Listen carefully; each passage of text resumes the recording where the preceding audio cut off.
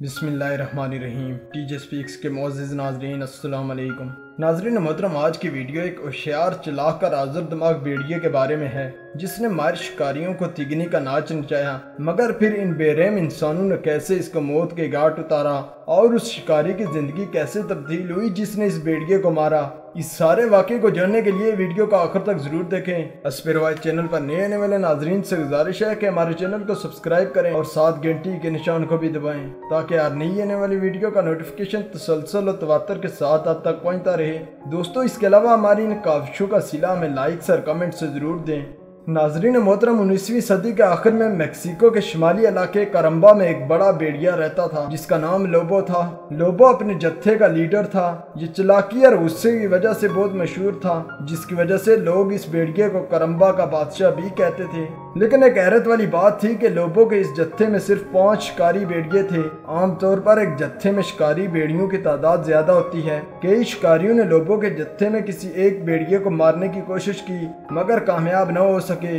इसकी वजह वहाँ के मुकामी गडरिए की। हर रोज एक गाय ये बेड़िए मार देते। ये तादाद तकरीबन 2000 के करीब पहुँच गई थी। दूसरी तरफ़ लोबो और उसका जत्था उसी गाय के ऊपर हमला करता, जो रेवड़ में सबसे ज़्यादा दुबली पतली होती। दोस्तों, एक रात लोबो और उसके साथी, दूसरे बेड़ियों ने गडरिए की 250 बेड़ों और बकरियों पर हमला किया।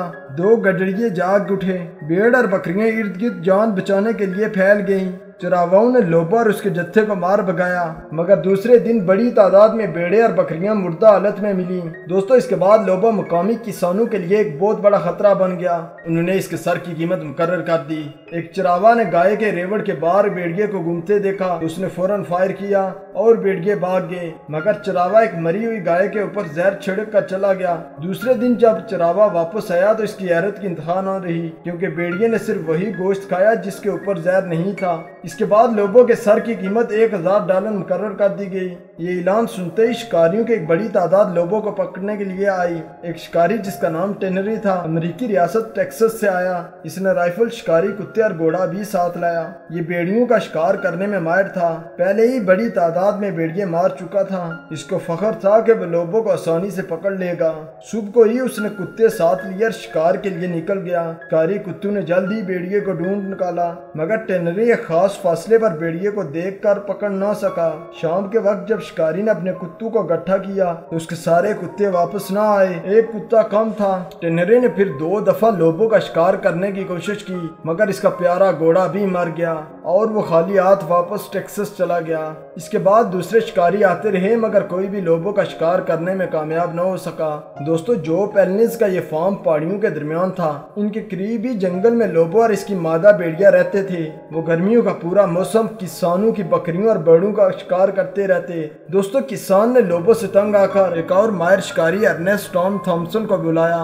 उसने वादा किया कि मैं तीन हफ्तों में जालम बेड़िए से आपकी जान छुड़ाऊँगा। मगर तीन माह लगा दिए। अर्नेस्ट ने सबसे पहले इस पूरे इलाके का चक्कर लगाया। फिर फैसला किया कि लोबो का कुत्तू और गन से शिकार करने के बजाय जाल और जहर का इस्तेमाल बेहतर है। उसने मुख्तलिफ़ अकसाम का जहर गोश्त पर डाला और जंगल में फेंक दिया। मगर लोबो इसके करीब भी नहीं आया। कारी ने मुख्तलिफ़ तरीके इस्तेमाल किए। इसने दक्ष चाकू इस्तेमाल किए ताकि दांत की बू न आ सके। इसके अलावा दस्ताने तक इंसान की बू न आए, मगर सब कुछ बेसूद रहा। चलाक लोगों ने जहर और तमाम शिकारी जालू से अपने आप को बचाया। ये सिर्फ़ इन्हीं बकरियों और बोड़ों का गोश्त खाता, जिनको वो जाती तौर पर मारता। इसके अलावा लोबो शिकारियों के साथ मज़ाक भी करता। एक दफ़ा उसने जहर से मिले हुए गोश्त के सारे टुकड़े इकट्ठे करके एक ऊँची जगह रख दिए। जब शिकारियों ने देखा तो वो भी परेशान हुए। लोबो शिकारियों के लगाए हुए सारे जाल भी तलाश कर देता। वो बड़ी एहतियात से जाल के इर्द गिर्द गड़ा बनाता, ताकि दूसरे बेड़िए भी बच सकें। दोस्तों, किसानों ने आखिरकार लोबो की मादा बेड़िया बलंका को तलाश किया। बलंका एक सफ़ेद रंग की मादा बेड़िया थी। इसके बाद शिकारी एक नए मंसूबे के साथ आए। उन्होंने गोश्त के एक टुकड़े के गिर्द दो जाल सामने ज़मीन पर बिछाए और करीब ही एक टुकड़ा फेंका और इसके गिर्द छह खुफिया जाल बिछा दिए। इस रात लोबो ने बहुत सारी आवाज़ें निकाली।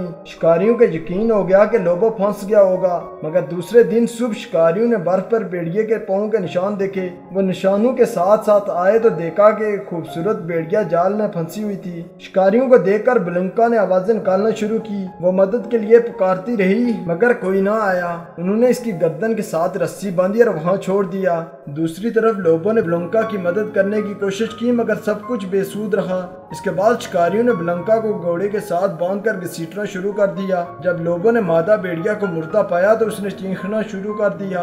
वो ब्लंका के पाँव के निशान के साथ किसान के फार्म हाउस आ पहुँचा। लोबो एक जाल में फंसा, मगर जल्दी आज़ाद हो गया। इसके बाद शिकारी एक नए मंसूबे के साथ आए। उनने ब्लंका के पाँव के निशानों के गिर्द एक सतीस जाल बिछाए। मगर दूसरे दिन जब लोबो मादा बेड़िया के पास आ रहा था तो इन जालों में फंस गया। मादा बेड़िया की प्यार और मोहब्बत ने लोबो को पकड़वा दिया। जब शिकारियों ने बेड़िया को पकड़ा तो इसने आवाज़ें निकालना शुरू की, मगर कोई भी मदद के लिए ना आया। इसके बाद शिकारी एक रस्सी के साथ लोबो को बाँध कर फार्म हाउस ले आए। उनने लोबो की गर्दन के साथ एक कॉलर और इसके साथ एक मज़बूत चेन बांधी। दोस्तों लोबो ने न पानी पिया, न खुराक खाई और न ही मदद के लिए दूसरे बेड़ियों को आवाज़ दी।